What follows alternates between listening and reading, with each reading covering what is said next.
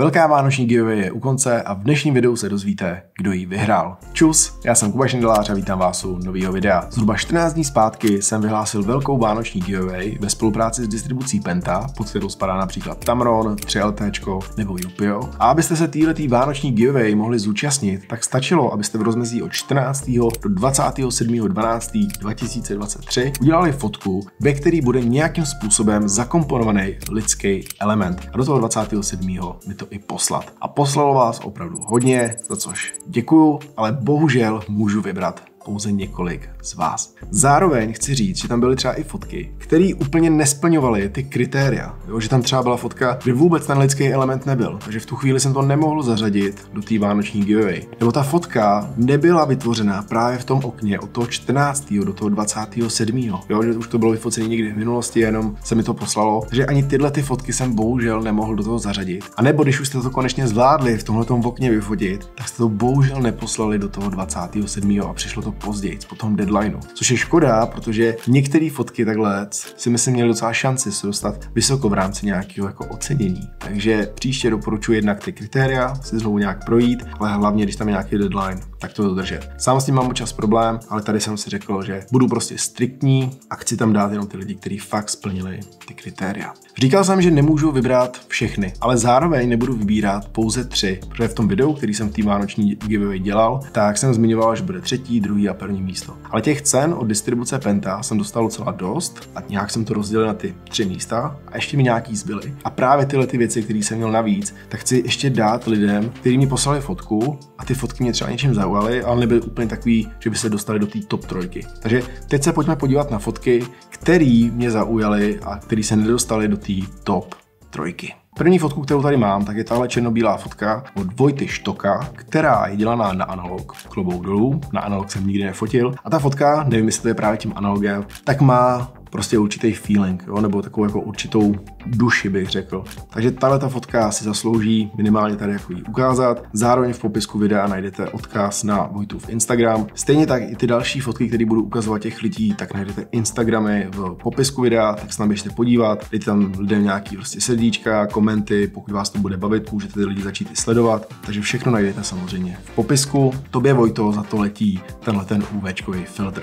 Nevím, jestli ti úplně k něčemu bude, minimálně ho můžeš poslat dál, ale chtěl jsem ti tady takhle zmínit, takže spojíme se, aby jsme se domluvili na předání tohohle filtru. Druhá fotka, která se nedostala do té top trojky, ale chtěl jsem ji tady zmínit, je fotka od Michaela Eichlera. Na téhle fotce nevím, jestli jsi to přímo ty, možná jsi to psal v mailu, to se omlouvám úplně, z těch mailů si to nepamatuju, bylo jich docela dost. Každopádně, tahle fotka je dobrá, ale něco mě na ní trošku nějak jako vnitřně neštimovalo. A je to to, že vlastně ta osoba, pokud jsi to ty, tak v tom případě teda ty, nejseš vlastně úplně na středu a zároveň, jak je tam potom v dálce to schodiště a ten oblouk, tak to taky není úplně správně jako vycentrovaný. A já jsem zjistil, že tohle je něco, co mě potom jako strašně bije do očí a říkám si, jo, stačilo udělat krok jako do strany a celý by to bylo prostě srovnaný a byla by to pecka. Zároveň fotka na nějakou uh, vyšší clonu, aby slunce bylo jako hvězdička. To si myslím, že by ti Kubajs pochválil, protože ten má rád uh, takhle ty hvězdičky ze sluníček. Takže ta fotka je dobrá,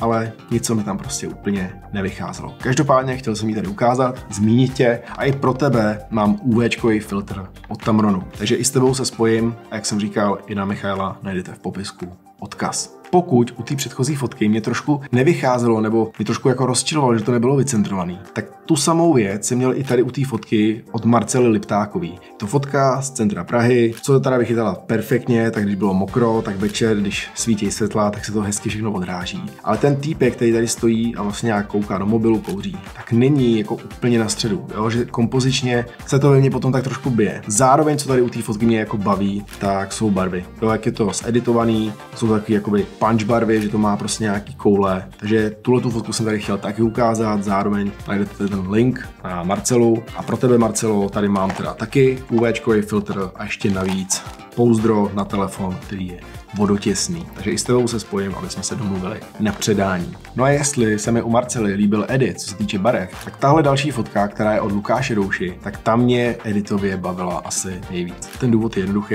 že takovýmhle stylem samozřejmě edituju i já. Jo, kdy jsou všechny skoro barvy odsaturované nebo primárně zelená a modrá, jenom tam vystupují ve většině případů třeba oranžová, červená, žlutá. Tak takhle prostě bych tu fotku podobně asi editoval i já. Tady třeba ta zelená je úplně odsaturovaná, tam já to občas třeba nechávám. Je to ale ve výsledku jedno, když jsem tu fotku viděl, tak jsem si říkal, jo, tohle to je něco, co bych si třeba i já vyloženě dal na Instagram. Takže tahle ta fotka od Lukáše Douši tak si zaslouží taky ocenění, jednak teda UV filtr, pouzdro vodotěsný a ještě navíc odboji mikrofon na telefon. Takže i s tebou, Lukáši, se spojím, aby jsme se domluvili na předání a jak jsem říkal, v popisku najdete odkaz na Lukášův Instagram. No a tím letím se dostáváme už k té top trojce, ty, kteří se dostali na ty stupně vítězů. No a na třetím místě se umístil Kuba Kroulík s touhle fotkou, když byli na ski Alpech. U téhle fotky mě baví jednak zase i ten edit, ale jednak to, že si sebou prostě bere techniku nebo že dělá fotky takhle ve zhoršených podmínkách, prostě ve sněhu. Vy víte, že já jsem na to pintlich, takže každý, kdo jde do sněhu nebo do nějakých horších podmínek, tak má ode mě palec nahoru a respekt, ale zároveň, že vesměs, když takhle prostě jdete s nějakou skupinou, která třeba není jako vy, že by třeba fotila nebo natáčela, a vy z toho chcete dělat nějaké fotky, tak to je většině o tom, ve většině případů o tom, že vy se potom někde zdržíte, pak to doháníte. A přesně tohle je případ téhle fotky, což mi psal i Kuba, že aby tu fotku měl, co se týče třeba kompozice a tak dále, tak se někdy prostě zdrží, pak je musí dobíhat. Je tam prostě udělaný něco navíc. To se mi tady u té fotky líbí, zároveň jak ta fotka je, co se týče barev, že je to takový jako utlumený, ale ty lidi, jak mají barevný to zimní oblečení, tak to z toho hezky prostě vystupuje. Takže tahle ta fotka si zaslouží ocenění. A pro tebe, Kubo, mám tyhle ty ceny a to je mikrofon na telefon, UV filtry, vodotěsný pouzdro na telefon a brašna od Tamronu že díky moc, že jsi zúčastnil, gratuluju ke třetímu místu a mimo tyhle ty věci máš navíc slevu 15% na penta.cz nebo epenta.sk na Tamron, 3LT nebo třeba Jupio. Takže i s tebou se spojím, aby jsme se domluvili na předání, aby jsme se domluvili, jak to uděláme vlastně s tou slevou. Takže třetí místo, Kuba Kroulík, tahle ta fotka ze Ski Alpů. Na druhém místě je fotka, která už chtěla trošku nějakou jakoby znalost, co se týče třeba focení a vyloženě je vidět, že ten člověk si s tím dal nějakou práci. Je to tahle fotka od Kamela Gensura, která je takovou vlastně kombinací jednak lidského elementu, ale zároveň dlouhého času a takovým jako light paintingem. Že tahle ta fotka tím, že je vidět, že si s tím dal nějakou práci, že udělal pro to něco, aby ta fotka prostě nějak vypadala. Samozřejmě možná by jsem si ty světelné jako čáry tam představil trošku jinak, ale to vem čert. Každopádně ta fotka se mi líbí a zaslouží si nějaký ocenění a v tomhle případě v této vánoční giveaway je to druhý místo. A to pro tebe znamená kšiltovku 3LT, destičku na stativ, mikrofon na telefon, UV filtry, vodotěsný pouzdro a taky brašnu od Tamronu. Všechny tyhle ty věci na tebe čekají,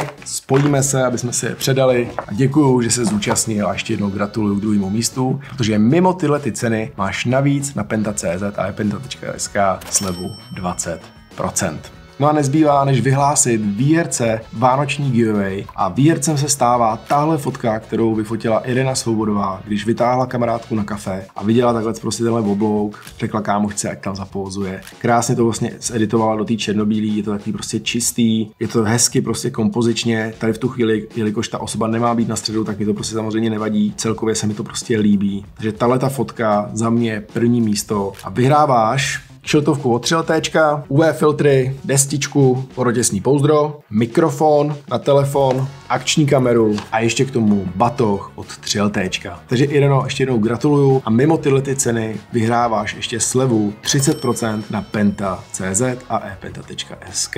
Takže spojíme se, aby jsme si jednak tady ty věci přidali a zároveň se domluvili, jak použiješ vlastně ten slevový kód nebo jak se ho vlastně předáme, jak ho využiješ. Takže tohleto byla vánoční giveaway v roce 2023, kterou jsem dělal ve spolupráci s distribucí Penta. Distribuce Penta, moc krát děkuju. Moc krát děkuju i vám všem, kteří jste se zúčastnili, kteří jste poslali fotky, kteří jste v tom rozmezí od toho 14. do toho 27. si vyrazili a šli cíleně udělat fotku. Všem vám děkuju, že jste se zúčastnili, vážím si toho a věřím, že v příštím roce vymyslíme zase něco dalšího. Takže ještě jednou díky moc, že jste se zúčastnili, díky moc, že to sledujete. Jestli vás i tohleto video bavilo, tak budu rád, že ho podpoříte lajkem. Zároveň, jestli vás baví moje tvorba a ještě jste si neklikli na odběr, tak si klikněte na odběr, zapněte si upozornění a díky tomu se uvidíme u dalšího videa, který bude v roce 2023 už poslední a to už hnedka zítra. Čus!